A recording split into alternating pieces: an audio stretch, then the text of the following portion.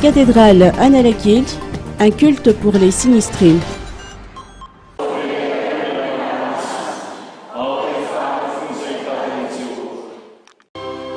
Un culte pour les sinistrés a été officié aujourd'hui à la cathédrale Annalakil à l'initiative de la FJKM suite au passage du cyclone Ava.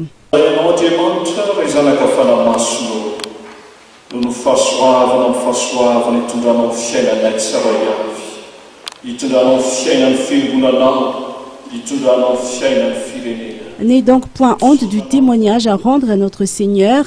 Tel a été le thème choisi, extrait du livre de Timothée 2, chapitre 1, verset 8a. L'évangile, pour sa part, a été tiré de Marc, chapitre 9, verset 19 à 27.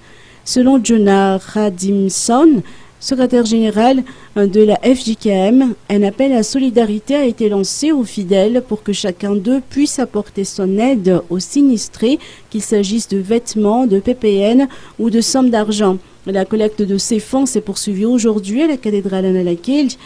Des prières pour les sinistrés ont marqué ce culte qui a été rehaussé de la présence du président de la FJKM, Andy Amasu Iraku Ami.